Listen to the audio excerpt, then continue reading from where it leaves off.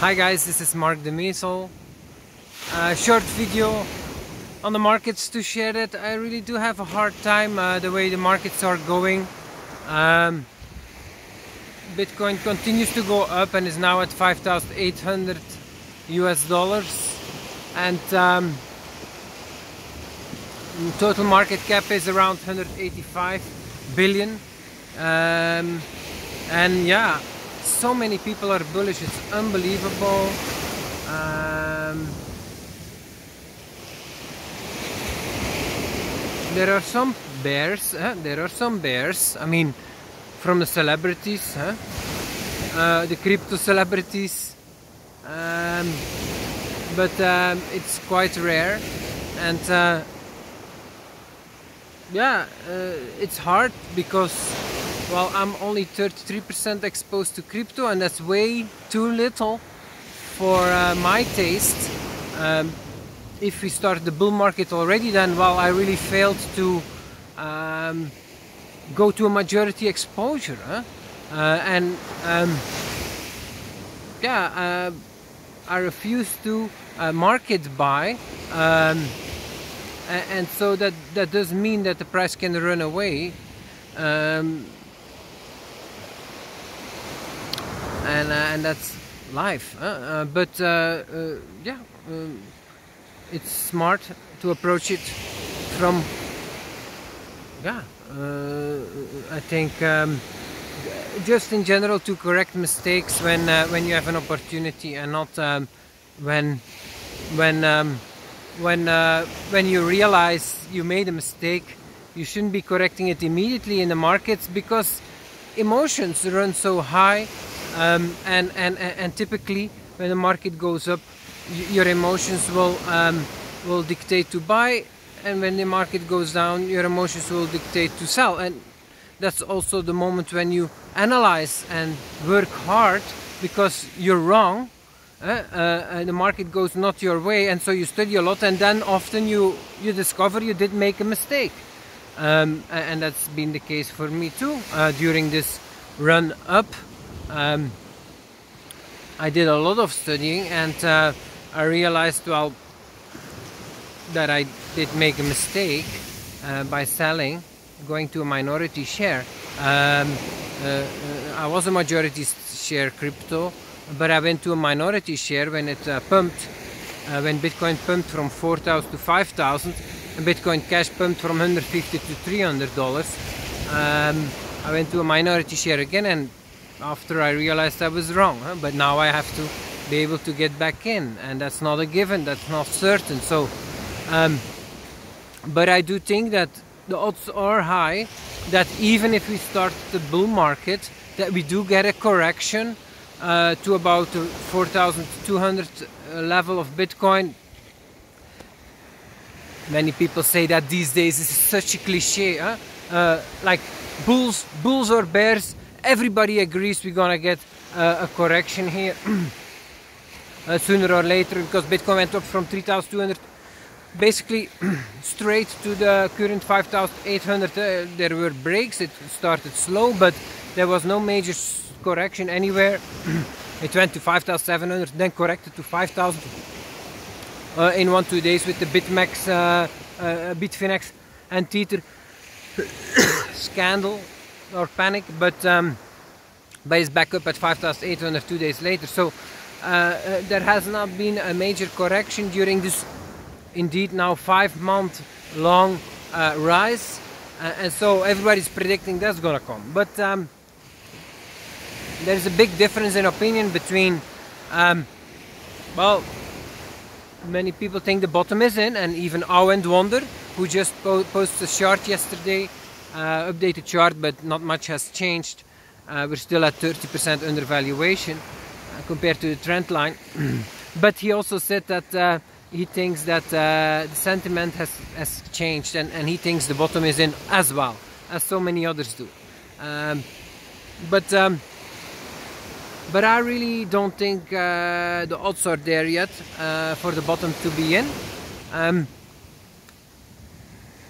so, but, but I do think I agree with everyone else that odds are high. We do will get a correction sooner or later. uh, uh, that will bring us back to uh, test the bottom. But test the bottom does not mean a double bottom. It means going to like 20 30% higher than what the bottom was. Huh? The bottom was 3100, so at 20 30%, and uh, you're about at 4000, uh, where, where, where, where you have to pull back to, even if you're in a bull market.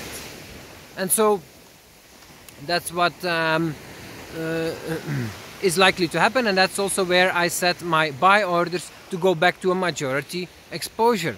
Um, uh, but I think that when that happens, which is likely to happen, um, for me that means Bitcoin Cash around $200, $180. Uh, I'm, pu I'm putting up, uh, and I'm planning to go from, currently I'm 33% crypto, but if it drops to that price, I will be probably only like 20 or 25% crypto, and I plan to raise to 70% crypto, so a big investment there.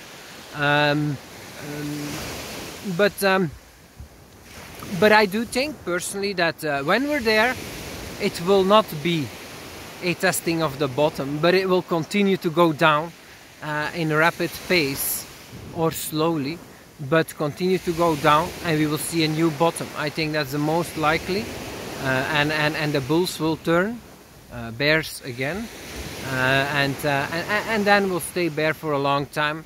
And I think we will see a bottom that's not that much deeper um, uh, I think it will be only 2,800 US uh, dollars for Bitcoin, 2,700. Um, uh, Ethereum I think will make a new low to $60 but Bitcoin Cash will only do a double bottom uh, because of the special situation when it made the bottom together with Bitcoin uh, half a year back it had also split up and, and it, it, dropped more than, than it should have due to the split with uh, Bitcoin SV.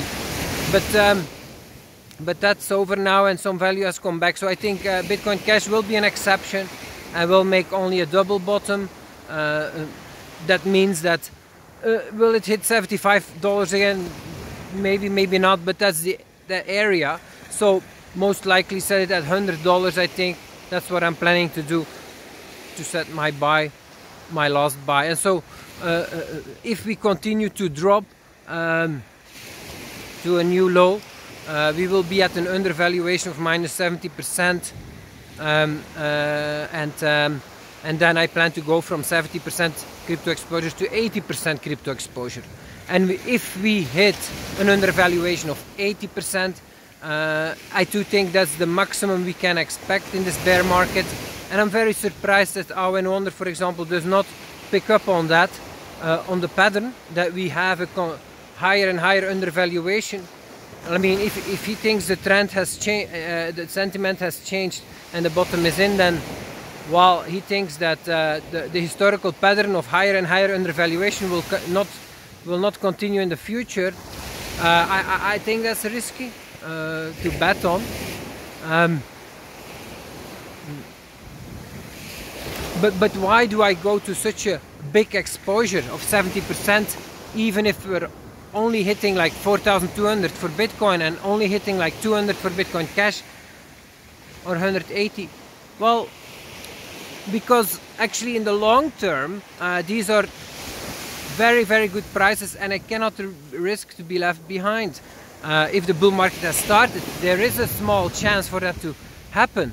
But if it happens then um, then well I missed out on a great opportunity. And so even if we see a new, new low uh, of um, uh, for Bitcoin or Bitcoin Cash even if we see a new low for uh, Bitcoin Cash at $50 buying at $200 is still a great move in the long term. Okay it will feel bad if you go to $50 that's hard but it's just that it's it is a great buy um, for the long term. The same for Bitcoin. Uh, if you buy it at 4000 it drops to 2700 it's still a great buy. Uh, so that's it.